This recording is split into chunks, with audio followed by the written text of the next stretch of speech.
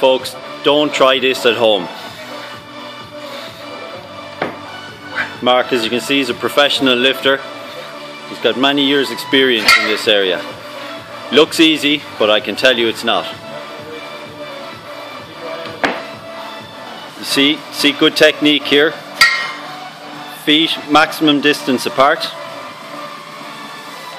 That's it. Very little bump. That's it. Breathing. Make sure to hold your breath at the top. Don't breathe at the top. Yes, side rack. Very good. That's it. Now, there's perfect rack. But we call that back rack. That's it. Rest the arm against the head.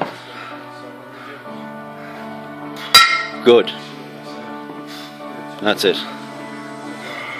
Yes, perfect back rack. Good set, man. Uh. That's it. Spot me, Ren!